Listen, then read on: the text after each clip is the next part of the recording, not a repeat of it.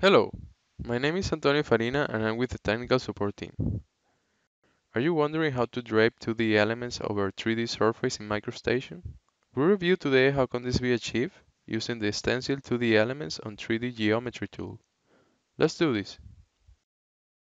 As you can see, I have drawn a simple mosaic, conformed by complex shapes that represent my 2D elements.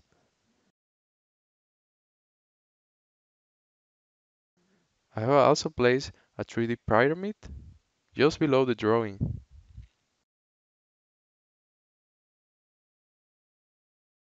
First, let's select the visualization workflow.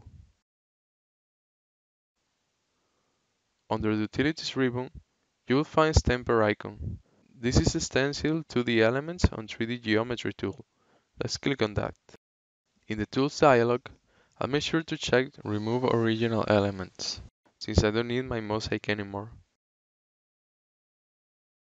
With the tool activated, I just need to select the 2D elements and enter a data point to accept.